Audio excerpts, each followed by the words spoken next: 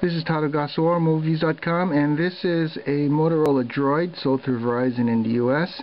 And one of the things you might know about the Droid is it doesn't support pinch and zoom, even though Android 2.0 itself supports gestures like that.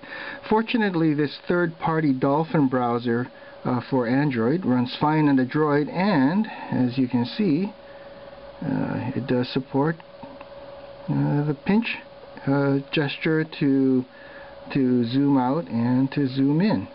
Um, very handy to have. I prefer it to what's available on the Droid and if you have a, a Droid phone you might want to grab the Dolphin browser too. It's free. MobileViews.com.